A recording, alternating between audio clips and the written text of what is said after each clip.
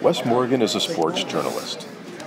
Like other sports journalists, Wes's tools to cover a story are a pad and pencil, a laptop computer, and an idea. But what separates Wes from other sports writers is his beat.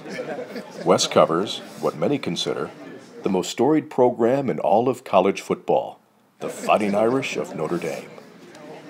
The position is a dream come true for the Sturgis, Michigan native who is in his first year with Blue and Gold Illustrated, a publication and website dedicated to covering Notre Dame athletics. Wes, why sports journalism and print in particular?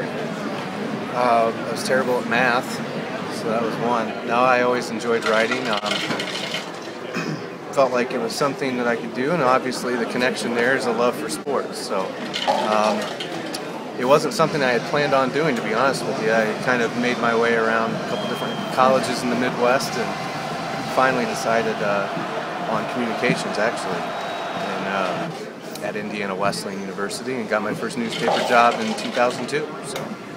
Now you're working for a specialty periodical. What's been the biggest opportunity and challenge for you making the transition from the daily to Blue and Gold Illustrated? Blue and Gold Illustrated is all Notre Dame all the time. So when you're at a newspaper, you're doing different things all year round. And um, Blue and Gold, we do a, a, weekly magazine during the season, 60 pages, so that's a lot of space to fill.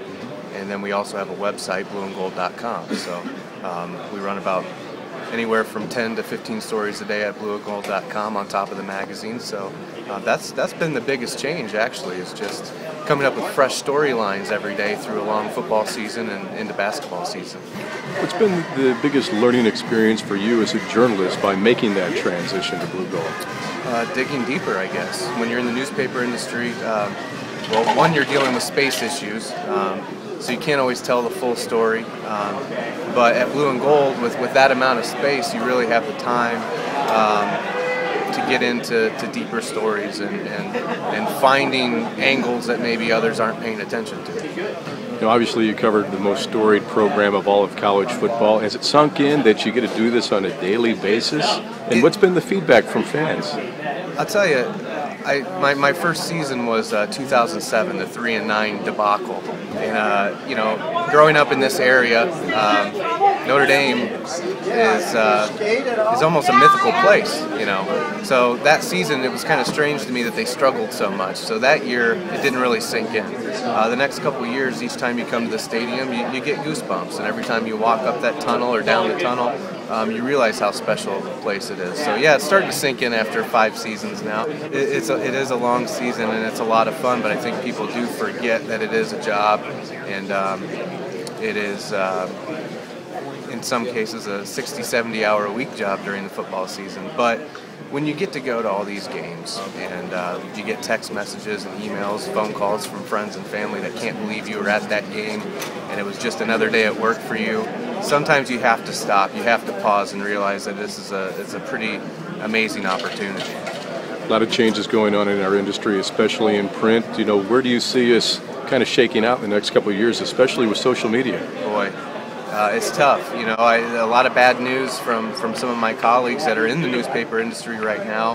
Um, staff sizes are shrinking and, and the papers are shrinking uh, and all that. So obviously, newspapers took a while to realize that online was the way to go. Um, and I think eventually um, they'll they'll rebound once they figure out how to how to make some money online, whether it's paid subscriptions or, or continuing to, to advertise and whatnot. But I think in some form or another, the newspaper industry will survive.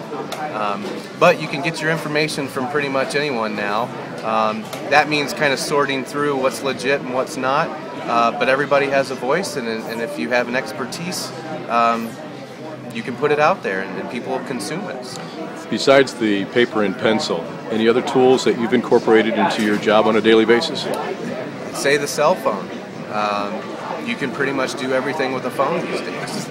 Uh, you know, I mean, from, from video, from audio interviews, uh, pictures, um, tweeting. I mean, you, see a difference now just from three years ago in the reporters standing around with their phones tweeting and getting out a quick message and telling the story bit by bit throughout the day via Twitter and Facebook and stuff like that.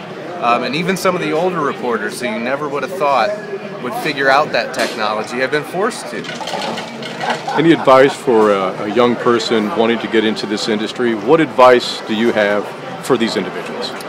Um, I would say with with so many people now, like I said, having a voice, um, make sure you have something to say, um, and embrace technology. Um, and I and I think that uh, you know journalism schools right now, communication schools are are making sure they're reinforcing those ideas. I mean, you, you have to stay with the technology if you want to survive. So embrace it, don't be afraid of it, and um, have fun with it. For IrishMojo.com, I'm Len Clark.